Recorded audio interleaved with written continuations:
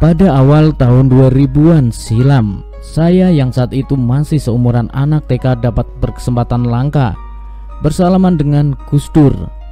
Momen itu terjadi saat pernikahan Mbak saya Dewi.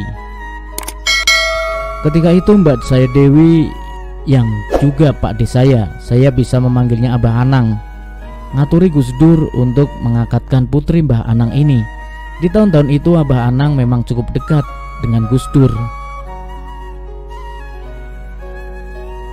Sepuluh hari lalu Abah Anang meninggal dunia dengan husnul khotimah insya Allah. Ada satu kisah menarik yang saya percaya benar terjadi tentang Gus Dur yang saya dapat dari Pak D saya ini. Kisah ini diceritakan Pak D saya dua tahun lalu. Kalau tidak salah saat itu malam 25 Ramadan. Saat itu saya bertanya kepada Pak D saya, Abah Anang, apakah Gus Dur itu wali? Atau dalam bahasa lain, apakah jenengan pernah tahu karomah beliau? Pak saya menjawab dengan mimik serius sambil menoleh tepat ke kedua mata saya. Iya, beliau wali. Tanpa perlu ditanya, kok bisa? Beliau memberi penjelasan yang kurang lebih begini.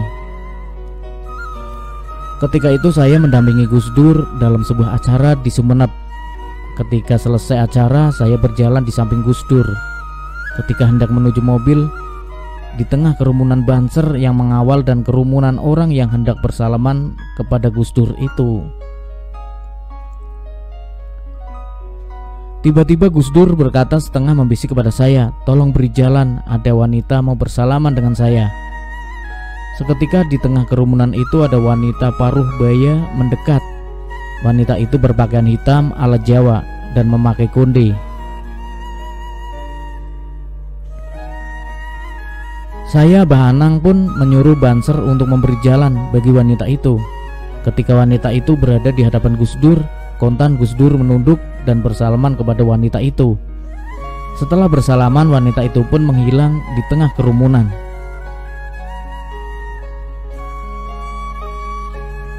Selepas itu di mobil Gus Dur berkata kepada saya, Gus Anang, sampan tahu siapa wanita yang saya sungguhi tadi?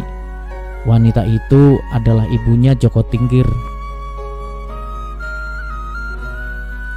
Seingat saya ada lanjutan ucapan dari Pak D saya begini. Gus Dur berkata, saya tidak sempat sowan kepada beliau, makanya beliau mendatangi saya ke sini. Saya tidak mudah percaya kepada cerita di luar adat, horikul adah, seperti ini.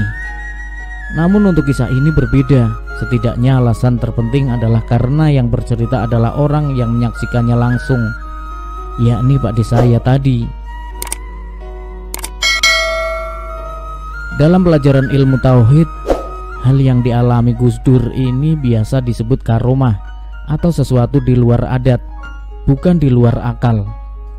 Karena tidak ada yang mustahil bagi Allah yang mana segala kuasanya adalah wajib akli yang terjadi pada diri seorang wali.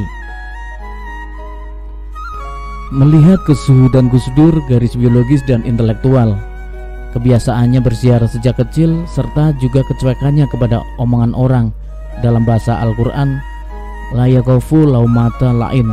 Bukan tidak mungkin. Menurut saya pribadi bahwa Gus Dur adalah wali yang pada akhirnya memiliki karoma seperti yang saya tulis.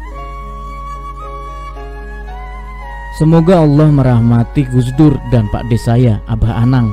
Mohon keikhlasannya untuk memberi hadiah Fatihah. Ilahumul Al-Fatihah.